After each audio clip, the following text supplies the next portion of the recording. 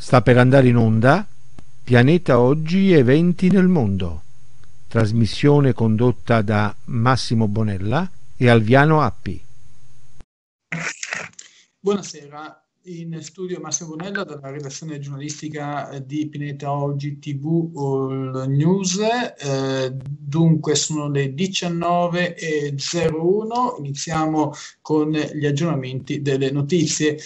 Una notizia che è in primo piano. Una detenuta del carcere romano di Rebibbia ha tentato di uccidere i suoi due figli. Uno è morto e l'altro è ferito gravemente. Avrebbe, li, avrebbe lanciati per le due rampe di scale eh, della eh, sezione nido del penitenziario dove sono ospitati bimbi fino a tre anni. La donna ha 30 anni ed era in carcere per reati di droga è morto il figlio più piccolo, quattro mesi, l'altro due anni, è ricoverato in gravi condizioni al bambino Gesù. La detenuta era stata arrestata ad agosto scorso per spaccio di stupefacenti. Il Ministero della Giustizia ha aperto un'inchiesta. Dall'estero. Ungheria il Parlamento ungherese ha votato una risoluzione su iniziativa del gruppo Fidesz, partito di Orban, che rifiuta il rapporto e il voto dell'Europarlamento che ha condannato le violazioni dello Stato di diritto in Ungheria. La risoluzione adottata con i voti della maggioranza governativa contro tutti gli altri invita il governo a non cedere al ricatto e a rifiutare le accuse ingiuste contro l'Ungheria. Nel testo si sostiene che il Parlamento Unione Europea ha condannato le decisioni ungheresi violando la sovranità di un paese.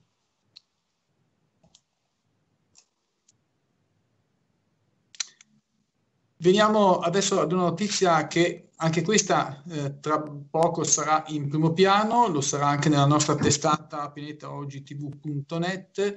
Eh, dunque eh, il noto eh, PM di Palermo, Nino Di Matteo, dunque tutta la verità di fronte al CSM. C'è un articolo sulla testata antimafia2000.com, eh, dunque io vi leggo solamente le prime due righe, articolo che è scritto dal direttore di questa testata, Giorgio Bongiovanni, sono complete, esaustive e con carte alla mano le dichiarazioni del sostituto procuratore nazionale antimafia Nino Di Matteo, chiamato davanti alla Commissione del Consiglio Superiore della Magistratura per parlare ancora una volta dopo l'udienza a porte chiuse alla Commissione parlamentare antimafia e l'audizione lunga diverse ore al processo Borsellino Quater sulla questione del depistaggio ordito sulla strage di via D'Amelio. È così che Di Matteo è tornato a ribadire la sua totale estraneità nella vicenda che ha visto al centro la gestione del, tra virgolette, pupo vestito, il falso pentito Vincenzo Scarantino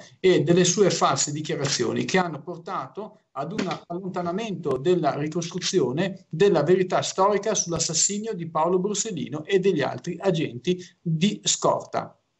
Ed ora veniamo alla nostra eh, testata, brevemente in primo piano il nostro settimanale Pianeta Oggi Report, approfondimento giornalistico che va in onda sul circuito del digitale terrestre e anche eh, radio in FM stereo. Adesso abbiamo anche la novità con eh, la nuovissima emittente radiofonica eh, in ampiezza modulata, vale a dire in M, sulla frequenza del 1584, denominata Radiodiffusione Europea da Trieste. Dunque abbiamo eh, qui l'intervista al direttore Graziano D'Andrea, tra altre cose un volto noto e anche una voce eh, nota, eh, giornalista RAI anche, eh, dove praticamente spiegherà un po' le prospettive di questa eh, nuova emittente in AM e altresì anche la collaborazione con Pineta Oggi eh, TV. Poi a taglio subito sotto, eh, sempre comunque a taglio prima, un eh, importante articolo eh, di Antimafia 2000. Come sapete la nostra testata ha una collaborazione, eh, si può dire quasi diretta, con eh, Antimafia 2000 di Palermo. Dunque l'articolo porta il titolo Papa Francesco contro i mafiosi, convertitevi o la vostra vita andrà persa. Ricordato anche l'impegno di Don Pino Puglisi. Ci fa eh, chiedere cosa posso fare io di Aaron Petinare. C'è anche un eh, filmato che potete consultare. Poi ancora un'ultima eh, segnalazione a taglio medio, un altro settimanale Pianeta Oggi Report, quello proveniente settima- di due settimane fa, con l'intervista all'artista eh, Gerardo Pozzi. In anteprima però vi volevo segnalare e sottolineare la piena solidarietà alla televisione di Gorizia, Telemare, che dal primo settembre la redazione giornalistica è a casa. Praticamente cosa è successo? Che questa televisione non ha avuto i contributi sufficienti per poter poi stipendiare i dipendenti in redazione e sta di fatto che dal primo settembre tutta, eh, tutte queste persone, eh, sono più di uno, comunque sono diverse, diverse persone giovani, sono di fatto senza lavoro, calcolando che a Gorizia c'è una sola emittente e Gorizia, province, tutto il Triestino, di notizie da dare ce ne sono parecchie. Questa è la situazione che fotografiamo nel nostro paese. Sembra che le televisioni, le radio, televisioni locali non piacciono allo Stato italiano. Sono le 19.07, vediamo se abbiamo qualche aggiornamento. Abbiamo accennato al direttore di Antimafia 2000, Giorgio Bongiovanni. Eh, se voi andate nel canale YouTube Antimafia 2000 c'è da pochissimo eh, pubblicata una sua intervista a Radio Popolare Network Papa, eh, messaggio politico della Chiesa alla mafia. Ecco, potete ascoltarla, dura pochissimo ma è molto interessante. A questo punto, linea come sempre ad Alviano Appi dell'Associazione Culturale Il Sicomoro. Saluto naturalmente a Treviso il nostro eh, regista, eh, colui che rappresenta un po' la regia eh, centrale, eh, altresì editore di Radio Science TV, Rosario Moreno, e quindi a voi un buon ascolto. Linea ad Alviano Appi. Prego Alviano. Grazie Massimo, grazie Massimo. E buonasera a tutti i nostri radioascoltatori. Allora, eh, hai citato prima il direttore della rivista Antimafia 2000, eh, Massimo, e noi eh, abbiamo il piacere di averlo qui eh, questa sera. Questa sera noi eh, parleremo di obbligo vaccinale e ne parleremo appunto con eh, il direttore di Antimafia 2000, nonché fondatore eh, della rivista, Giorgio Bongiovanni. Intanto Giorgio, grazie per eh, la tua presenza. Buonasera, buonasera a tutti voi e grazie a te e a voi Alviano. E ne parleremo anche eh, con Carlo Canistraro, eh, a cui do lo stesso un grazie per eh, aver voluto partecipare. Grazie Carlo. Eh, buonasera a tutti quanti i partecipanti, grazie a voi. Allora, eh, io anche perché eh, so dei tuoi impegni, eh, Giorgio, inizierei eh, con te parlando appunto di questo obbligo vaccinale. Adesso si sono aperte le scuole e diciamo che in qualche modo la mannaia dell'obbligo uh, vaccinale eh, con eh, decreto legge del ministro del passato governo Beatrice eh, Lorenzin è presente in qualche modo, adesso diciamo che il governo è molto altalenante eh, su questa questione, ma diciamo che eh, lo spettro dell'obbligo eh, permane e volevo fare eh, con te mh, una considerazione su, su, questa obbligatorietà che tra l'altro mette in conflitto eh, due articoli della Costituzione italiana che sono il 32 che appunto è il diritto alla salute ma è eh, che anche il 34 eh, che eh, diciamo che lo Stato eh, eh, ritiene obbligatorio la frequentazione scolastica eh, eh, fino alle, alle, scuole medie e, e questa è anche gratuita, cosa che tra l'altro non sarebbe qualora i genitori dei bambini non vaccinati dovessero pagare delle multe eh, per poterli mandare a scuola. Allora, a te la considerazione di fondo. Allora, io ho un'opinione personale che vi dirò successivamente all'analisi politica che immediatamente faccio. Non posso, perché non sono competente in merito, disquisire sulla questione medica, lascio a voi, soprattutto ai medici, eh, quelli a favore diciamo, della vaccinazione obbligatoria e quelli contro, il dibattito, la discussione. Eh, certo è che eh, un'opinione io e la mia famiglia ce la siamo fatta, come tutte le famiglie italiane che hanno bambini minori o nipotini, nel mio caso, e eh, consultando dei medici ortodossi tradizionali e dei medici, chiamiamoli così, progressisti, cioè quelli che hanno una visione della medicina con tanto di curriculum, di lauree e di riconoscimenti, ma hanno una visione più aperta, e quelli che invece hanno una visione più ortodossa. E ci siamo fatti la nostra opinione e abbiamo preso la nostra decisione. Ma il problema è politico. Politico, come sempre, in campagna elettorale si promette, si promette la luna ai cittadini italiani, i quali come pecoroni, eh, eh, come sempre noi crediamo, siamo tanto tanto razionali, scettici e, e pragmatici quanto stupidi perché crediamo all'asino che vola, che è quello che ci promette il politico quando vuole il voto, ci promette l'asino che volerà, ci promette la luna e noi crediamo che avremo la luna e che avremo l'asino che volerà. Invece dopo, di, dopo che il politico, il movimento politico, il partito eh, vince le elezioni o le vince parzialmente, come nel caso del Movimento 5 Stelle, che io non ho votato, ma ho, ho certezza che la maggioranza della, della, mia famiglia, cioè forse tutta, lo ha votato, quindi mi sento un po' eh, parte in causa. Io non voto mai perché faccio il giornalista e sebbene ho diritto di voto preferisco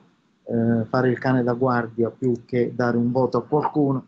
E invece i miei figli credo i miei parenti hanno votato 5 Stelle con la speranza di un cambiamento, cambiamento che stiamo aspettando e che non vediamo su determinate questioni fondamentali della vita sociale e politica italiana. Una di queste è la sanità. Era stato promesso da uh, Di Maio che avrebbero rivisto il decreto Lorenzin e avrebbero fatto qualche cosa. Non ci aspettavamo un cambiamento radicale, anche perché giustamente non si può fare un cambiamento radicale sulla sanità, ma certamente si poteva dare la possibilità alle famiglie che non volevano vaccinare i figli un'alternativa a questa multa megagalattica che avranno o comunque una, uh, una parziale riduzione eh, della penale o addirittura farli iscrivere lo stesso i figli, invece, invece no, invece probabilmente sarà approvato, quindi dal punto ho approvato comunque un palliativo, non cambierà quasi niente di questo decreto,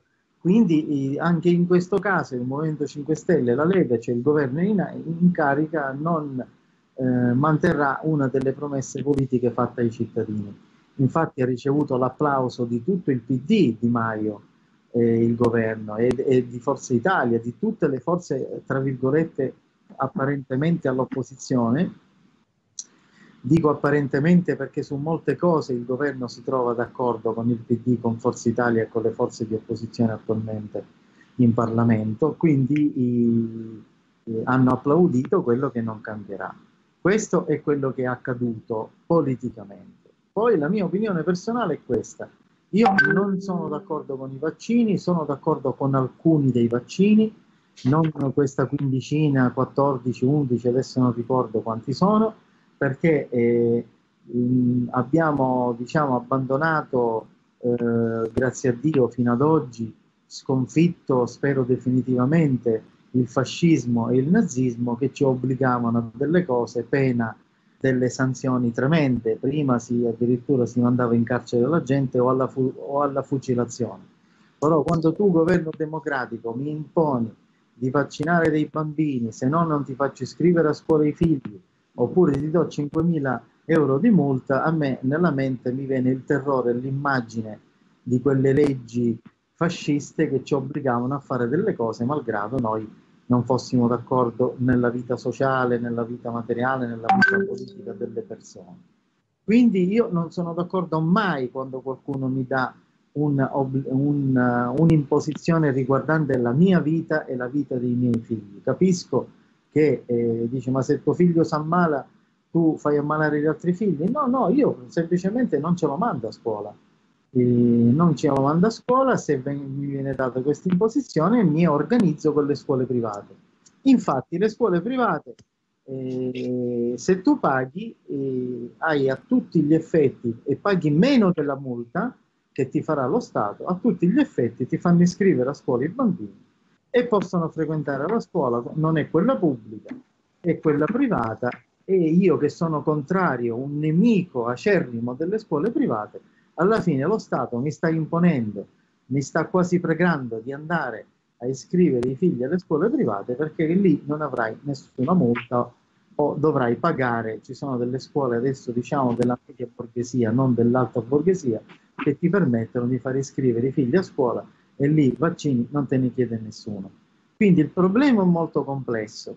Io non condivido nemmeno la vaccinazione per le poche informazioni che ho a livello medico, perché eh, sento puzza molto di traffico eh, economico delle grandi case farmaceutiche che eh, visto che l'Italia siamo un branco di pecoroni, quale migliore paese per fare da, da cavia ai bambini con i, i test eh, delle nuove medicine, delle identificazioni? 15 paesi hanno detto no, qua non si obbliga niente a nessuno, 15 paesi non dell'Africa oppure della, della del Sud America vecchio della dittatura militare, no, dei paesi che fanno parte a tutti gli effetti dell'Unione Europea con tanto di democrazia hanno detto alle case farmaceutiche, quindi hanno imposto ai loro governi, ai cittadini, che non bisogna obbligare la vaccinazione. Chi se la vuole fare se la fa, si fanno, certo che ci sono quelle una o due o tre che sono veramente, effettivamente, logicamente da farsi, ma 11-12 vaccini in 15 paesi europei dicono no, perché noi dobbiamo dire sì?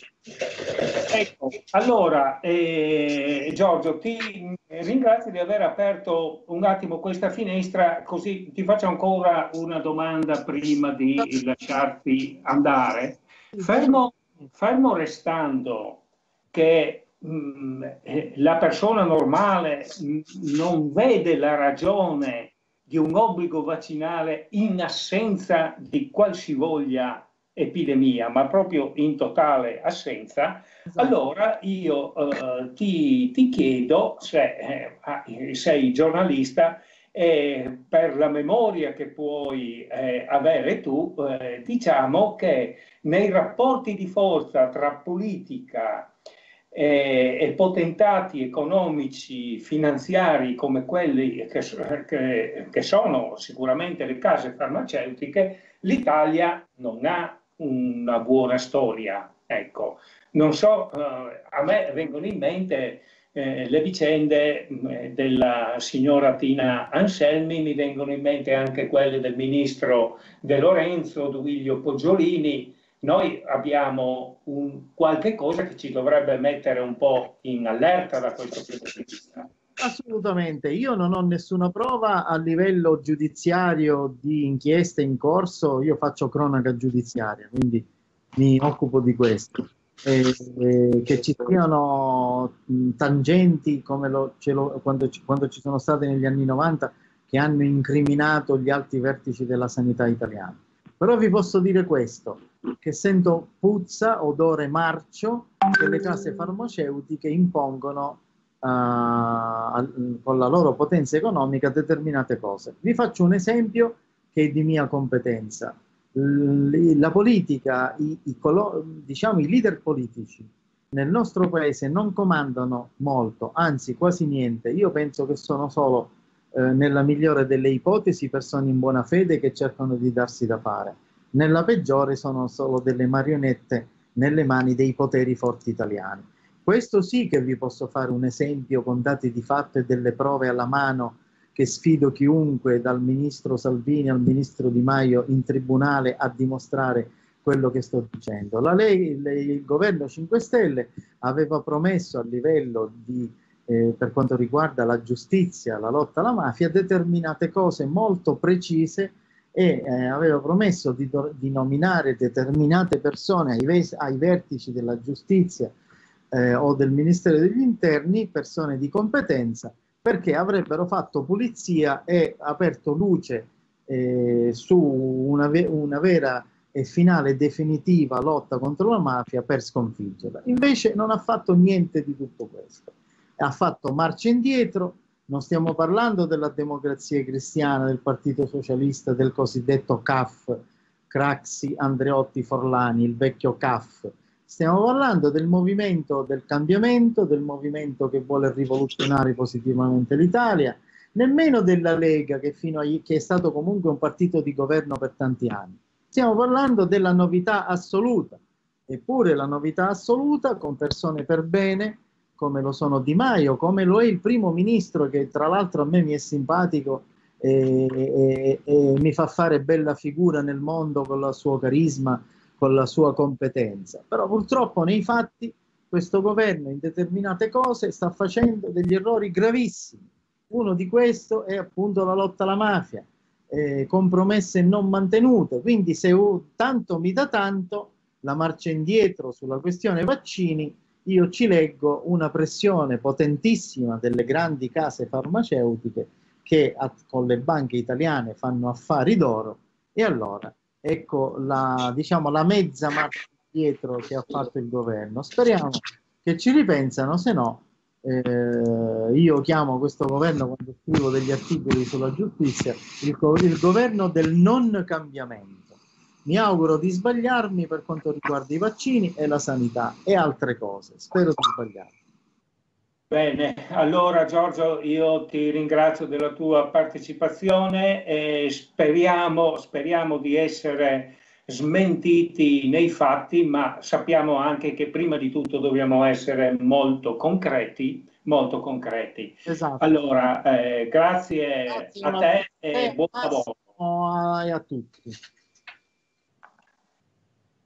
Bene, allora Carlo, eh, Carlo Canistraro, eh, tu sei osteopata, non sei un virologo, non sei un esperto del settore, ma intanto io ti ho mh, invitato perché so che tu hai una vicenda eh, personale, familiare con i tuoi ragazzi sulle vaccinazioni. E io partirei da qui per fare alcune considerazioni. Sì, eccoci. Allora, io oltre a essere un osteopata sono anche un genitore, come tu dicevi, e quindi mi sono cominciato a interessare delle vaccinazioni quando la prima figlia, vent'anni fa, a, a, doveva vaccinarsi perché a quell'epoca c'era l'obbligatorietà per quattro vaccini. E lì è cominciata il mio percorso di conoscenza che mi ha portato oggi a fare, avere un'idea, come Giorgio, su cos'è la vaccinazione e io volevo però eh, qui fare una piccola parentesi, perché oggi si usa mettere davanti i, i famosi Novax e i Provax o il Freevax ogni tanto li chiamano anche.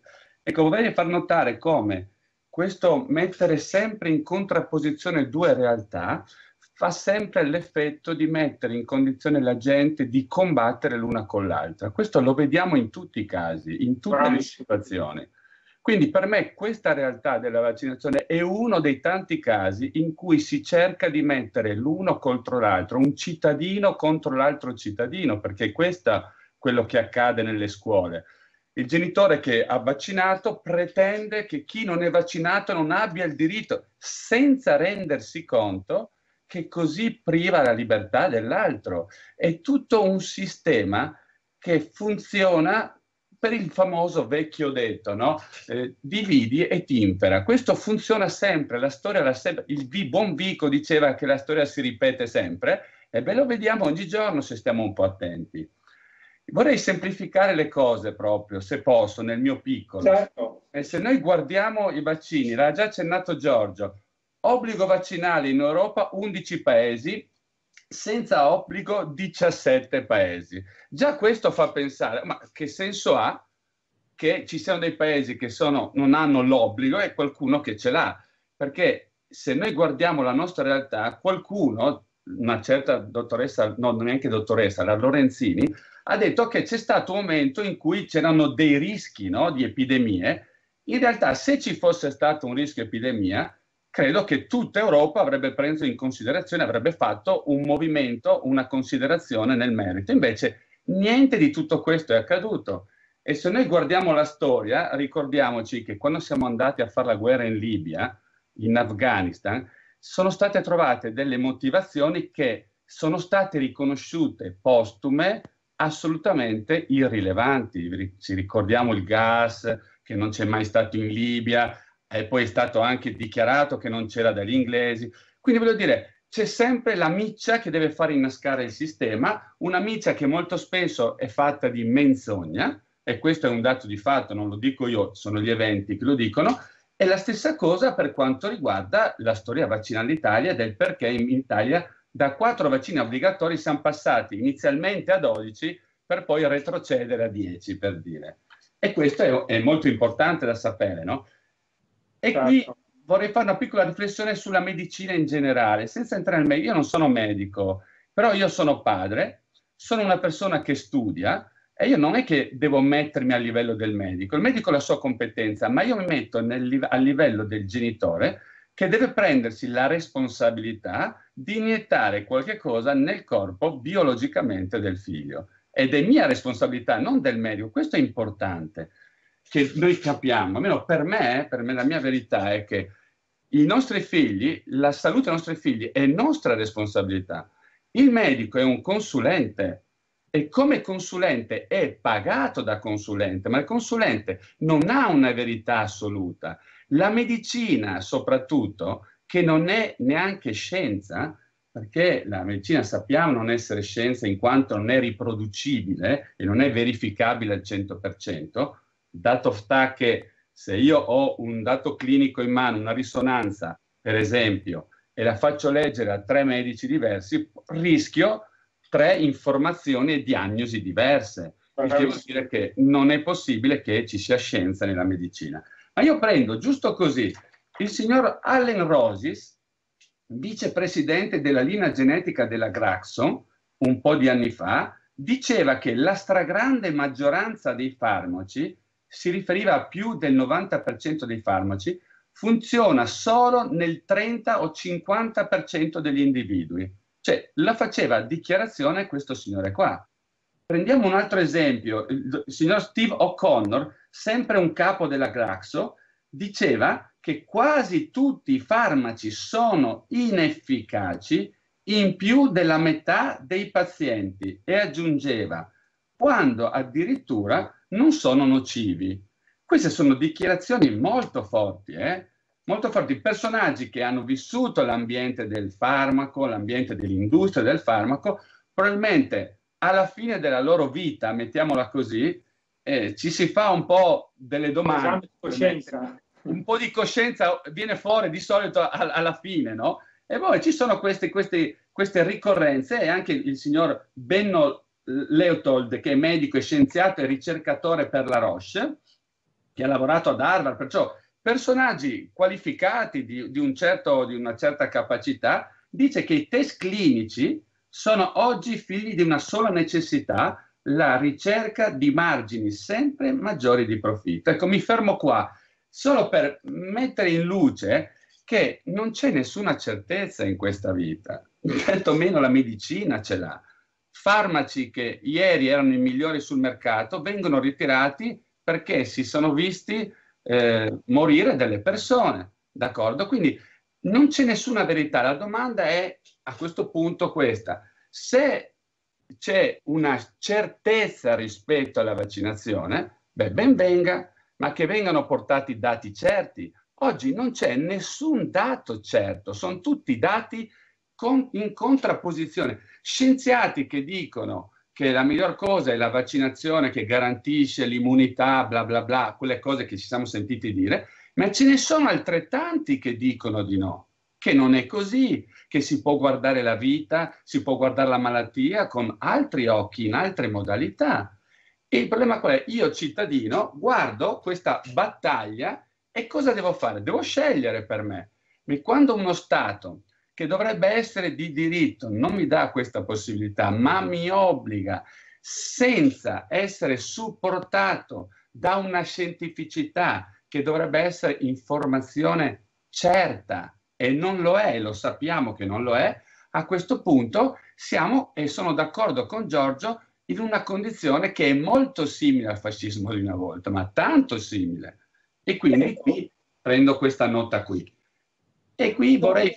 Dimmi, dimmi, dimmi. Eh, ecco, eh, volevo dire, intanto per chi ci ascolta do un dato, una casa farmaceutica francese, la Sanofi Pasteur, è molto eh, famosa, ma eh, nelle, nelle, Filippine sono stati vaccinati nel 2016 oltre 700.000 bambini eh, contro la febbre dengue che è portata da, un, da una zanzara in quelle zone, eccetera. La società l'anno seguente ha dovuto ritirare i vaccini perché ci sono oh, stati eh, gravissimi casi di avversità al vaccino e sono stati ritirati l'anno seguente nel 2017.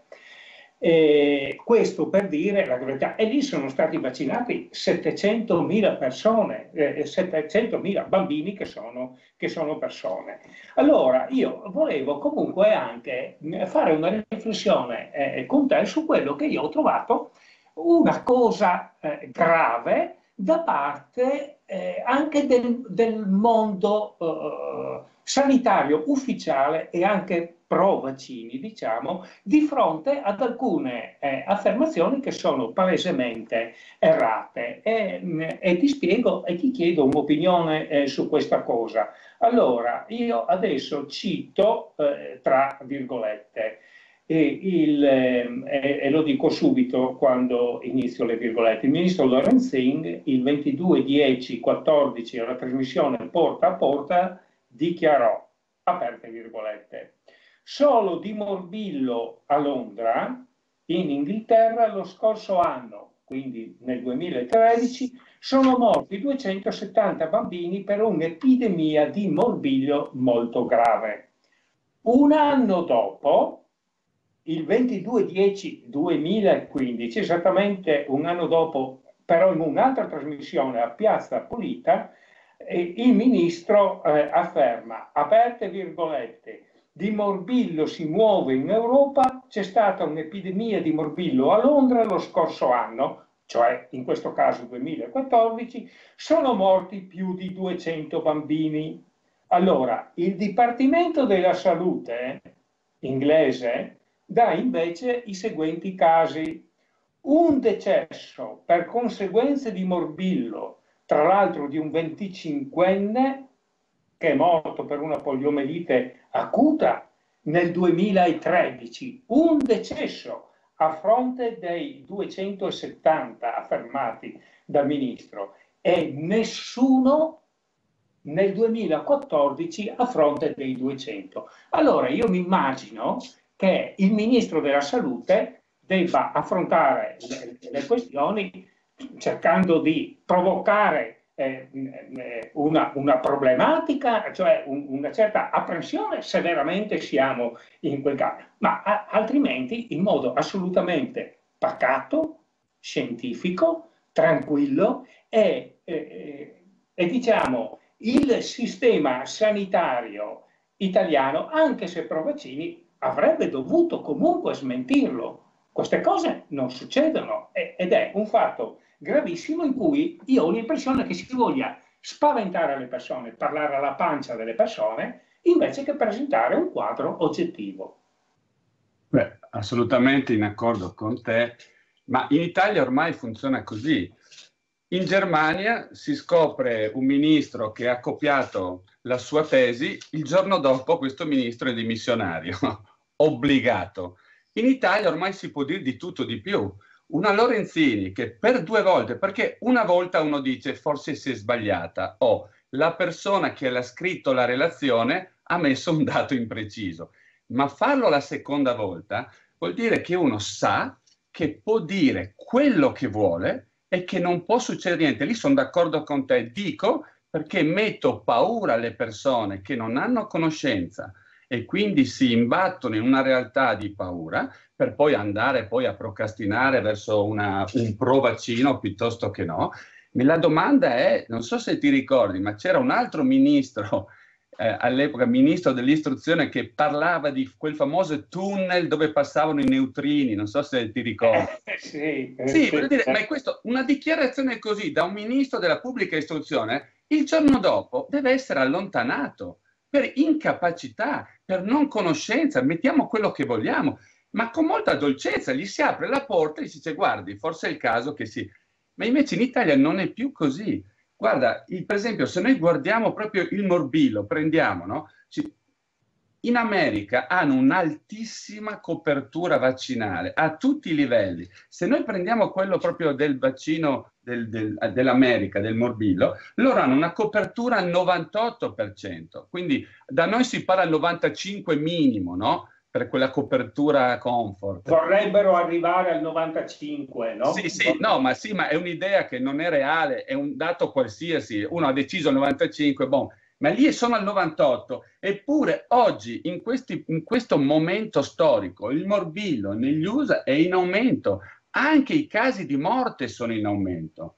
Perché c'è un doppio fenomeno che si crea quando la copertura è troppo alta da vaccino, che il morbillo diventa neonatale più pericoloso, ma soprattutto si sposta a un'età più adolescenziale, si sposta nel tempo e questo è rischioso, è molto più rischioso. Infatti adesso c'è l'obbligo del morbillo anche a farlo a 10 anni, fare un richiamo a 10 anni perché si sono resi conto che c'è stato questo spostamento di età dovuto proprio alla vaccinazione. Quindi diciamo che oggi proprio la certezza sulle vaccinazioni è esattamente qualche cosa che non è verificabile mai.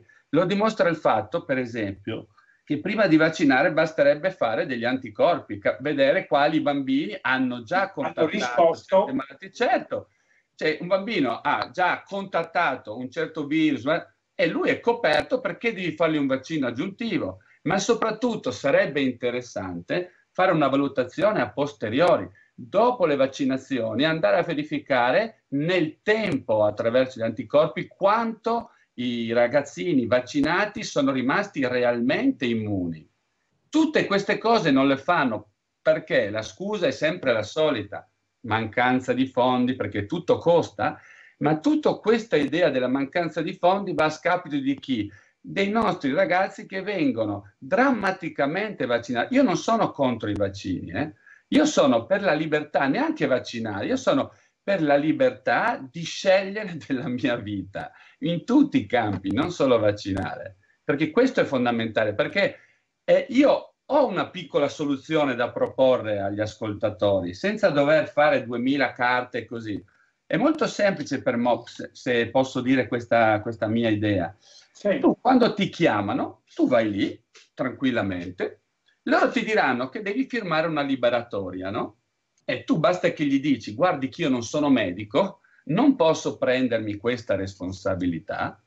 Ovviamente prima di far questo io accendo un registratore e dico adesso io registrerò, avviso che sto registrando, giusto per una questione di correttezza, e dico semplicemente io non sono medico, non sono in grado di prendermi una responsabilità vaccinale perché non è il mio compito.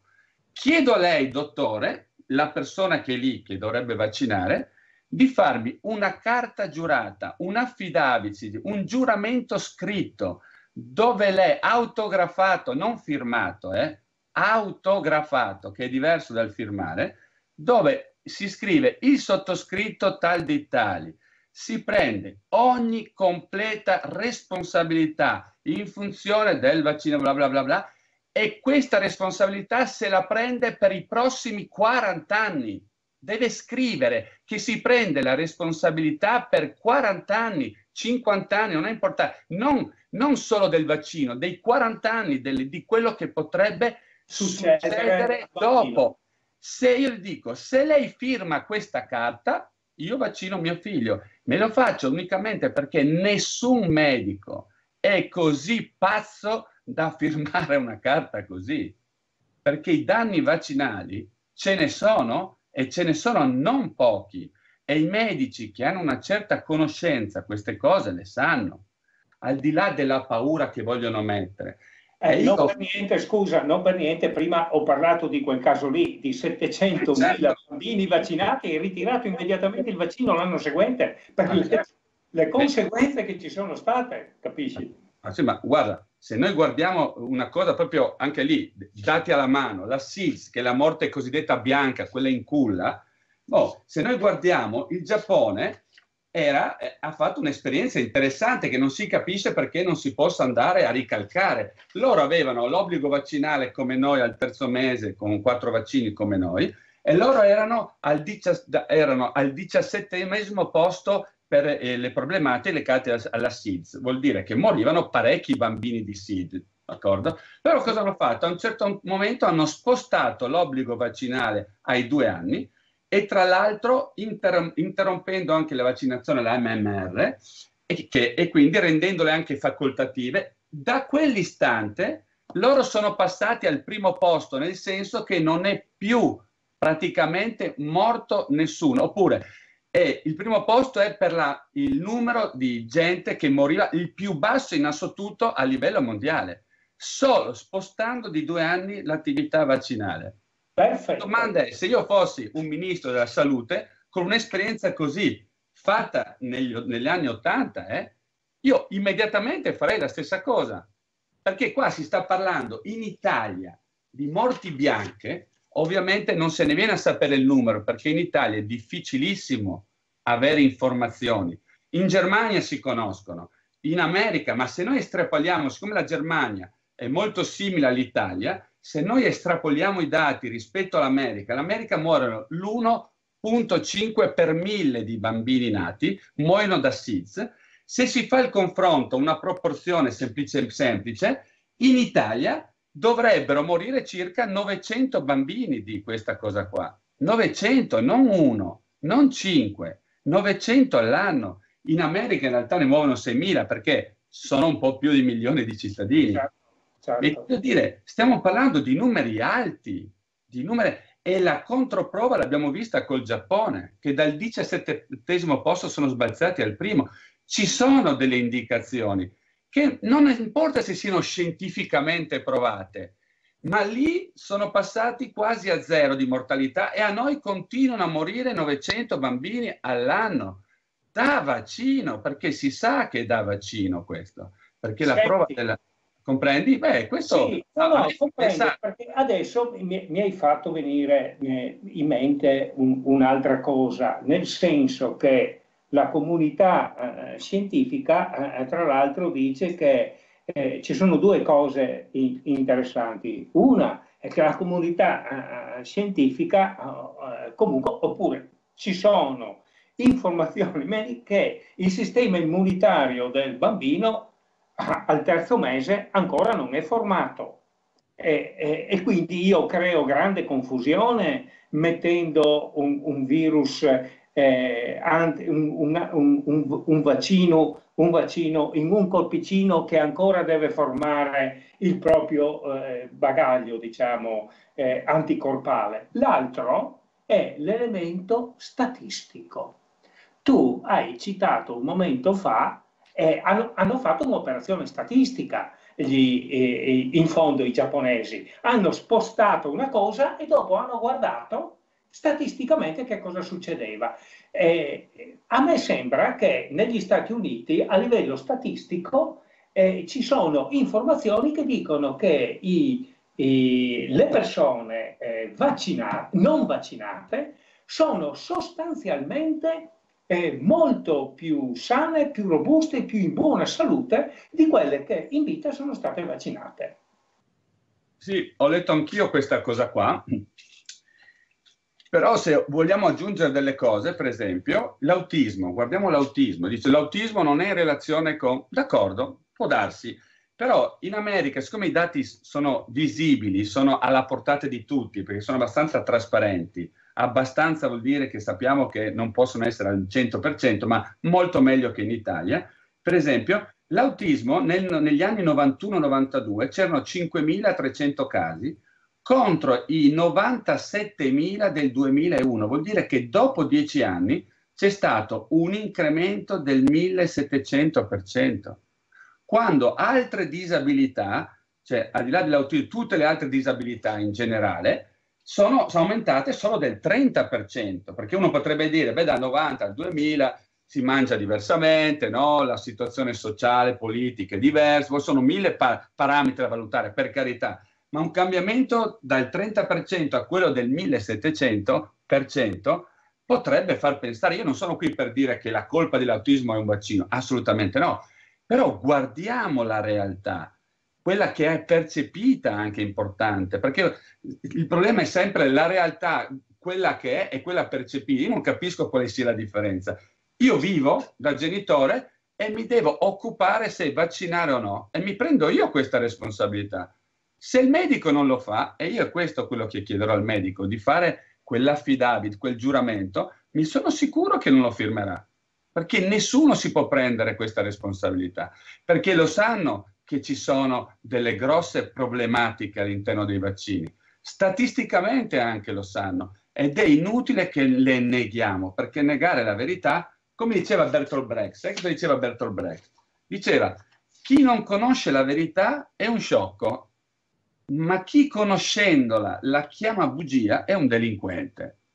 E io penso che in Italia io non dico chi, dove, come, non voglio parlare di nessuno in particolare, ma ci siano delle persone che delinquono e lì sono d'accordo con Giorgio, perché Giorgio certo, sono, sono, sono in completa linea. Fede, e, e, per secondi fini eh, fanno, dei danni, eh, fanno dei danni gravissimi. Senti, io ti volevo chiedere anche una... A me era... Mh, capitato nel messaggero del 2016, era un, non so la data, ma eravamo in inverno e, e qui nel, nel Friuli c'erano dei dati sull'anti-influenzale in cui eh, si diceva che praticamente solo 7 medici su 100 avevano fatto l'anti-influenzale, cosa che viene consigliata senz'altro agli anziani, ma viene consigliata un po' a tutti. Ma eh, sembra anche questo più un grande mercato che una... perché lo stesso mondo che lo somministra è un mondo che sembra ne stia lontano, perché se 93 medici su 100 non si preoccupano di farlo, io mi domando quanto in realtà eh, quest- quest- la sicurezza, la bontà eh, sia così scientifica come ci viene detto. Guarda, ti racconto la mia esperienza.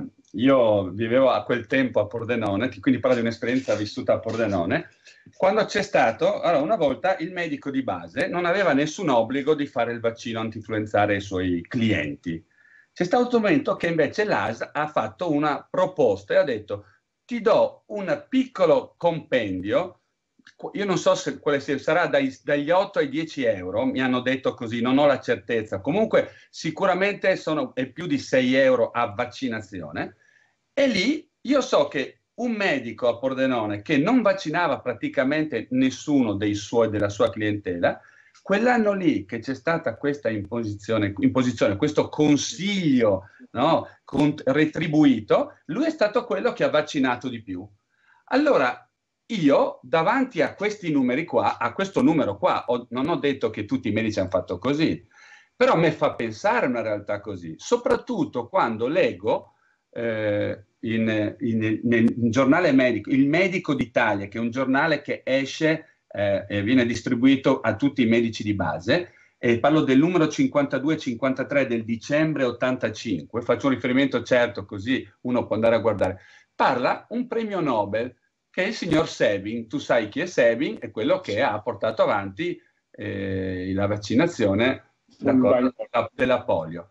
Beh, lui nell'85 fa dichiarazioni che hanno questo tono. Ti leggo solo due frasette per non portarti via troppo tempo. Dice: Abbiamo vaccinato tanta gente da più di 40 anni e secondo me i vaccini non hanno assolutamente funzionato. Eh? non dice un po', non hanno assolutamente funzionato. E continua il giornale dicendo che nel dibattito, nel dibattito che è seguito, lo scienziato ha sottolineato che molte conquiste per la salute, a cominciare dall'infanzia, si sono ottenute grazie alle migliori condizioni di vita e di igiene. Questo lo diceva nell'85. Eh? Io la domanda è, e noi siamo ancora oggi a disquisire se ha un senso eh, vaccinare per l'antinfluenzale i nonnini, i, i piccolini, no? Quando c'è qualcuno che 30 anni fa che ha vissuto una vita, ha dedicato una vita alla ricerca vaccinale, fa dichiarazioni vaccini che non hanno assolutamente funzionato. È questo che io mi domando. E se le leggo io queste cose da cittadino, e voi che un medico che gli arrivate alla rivista non abbia letto e fatto una domanda, questa è la mia, è la mia richiesta. Per quello import- non possiamo più affidarci ciecamente né alla scienza né tantomeno alla medicina che non è scienza, ma dobbiamo prenderci delle responsabilità, fare un cammino personale di responsabilità e su questo cammino affidarsi alla nostra conoscenza è una conoscenza che ovviamente deve essere nutrita da qualche libro, da qualche cosa, ma un, non un libro, da due, tre libri che hanno visioni diverse sulla stessa realtà, in modo che io possa sempre scegliere. Scelgo se ho più opportunità di guardare le cose. Se davanti a una realtà, io faccio sempre l'esempio, si va in, al ristorante, se il cameriere ti dice oggi c'è brodino, eh, brodino, consumè e non c'è niente, tu non stai scegliendo cosa mangiare, scegli se mangiare o no ma se lui ti incomincia a dire ci sono, c'è una pasta con le cozze, c'è il brodino, c'è il pasticcio, ti, fa, ti elenca una serie di opportunità, lì hai la realtà, lì realmente tu puoi scegliere. E noi ogni volta che scegliamo siamo liberi e questo è il problema. Ci vogliono togliere la libertà. E questo è il problema. Non è il problema vaccinale in sé, è il problema che dietro c'è un meccanismo che avanza dove ci vogliono condizionare con la paura, come dicevi tu, a toglierci l'opportunità di riconoscere che siamo delle anime libere e in quanto libere capaci di discernere e di scegliere. Questo per me è il problema più grande.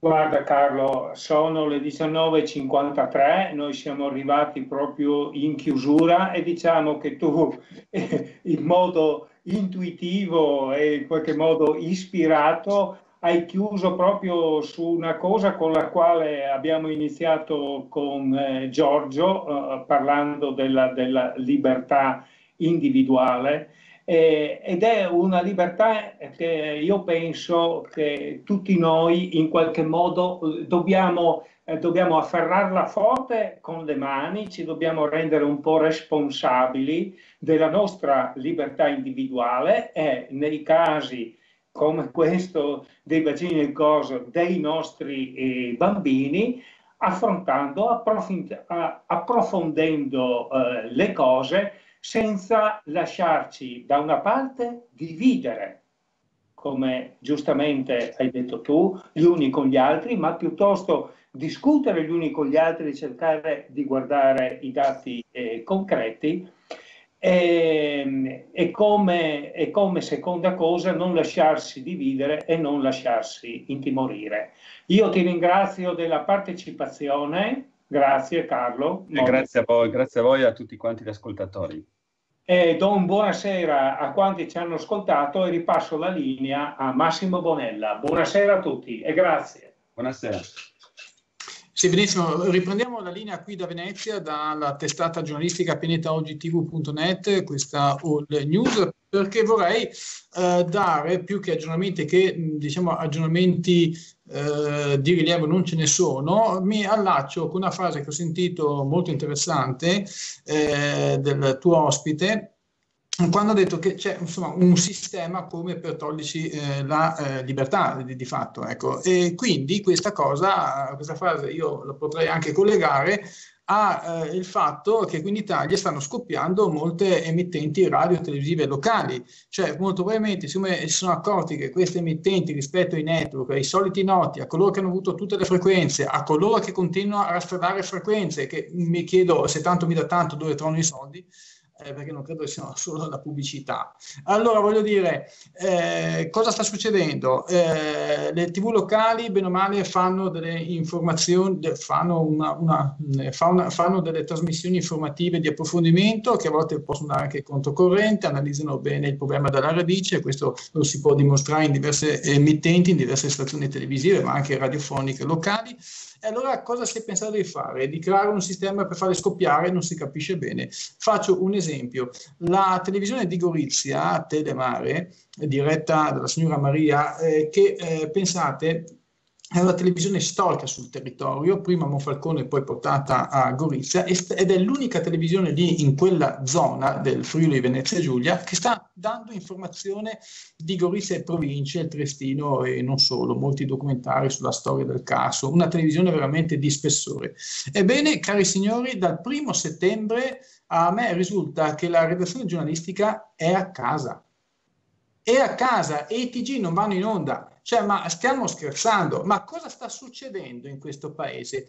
Perché eh, le televisioni locali qui non vengono rispettate? Perché non devono avere dei contributi seri per poter eh, gestire una redazione, per poter creare dei contratti per i lavoratori, per i giornalisti che sono in redazione, i giovani.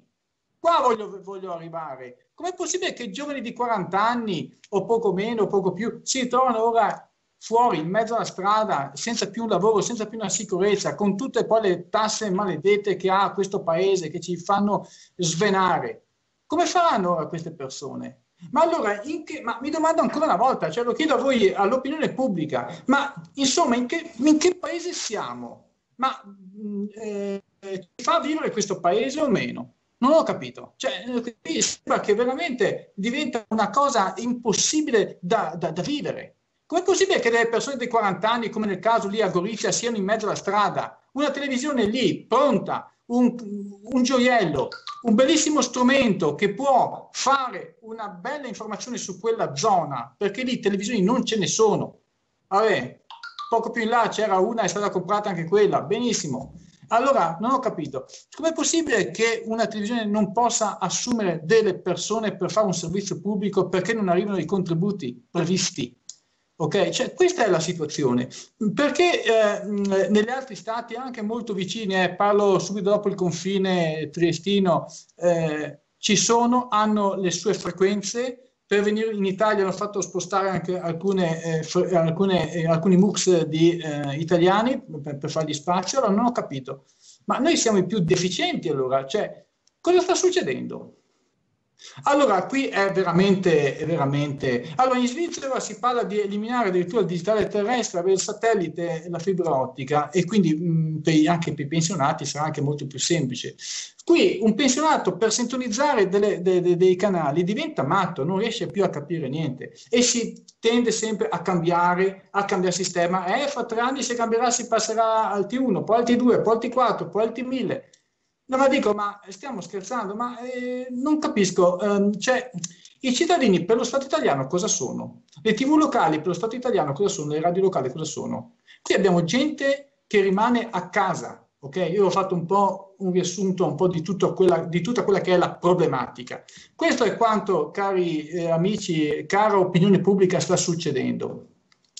Le tv locali stanno scoppiando e la gente è a casa. Le tv locali non riescono a mandare in onda i propri telegiornali. Bene, mi fermo qui perché siamo fuori tempo massimo, 19.59, linea subito a Radio Saius, alla regia centrale. Grazie per averci seguito, buonasera. Avete ascoltato Pianeta Oggi, eventi nel mondo. Trasmissione condotta da Massimo Bonella e Aviano Appi. Vi diamo appuntamento alla prossima trasmissione.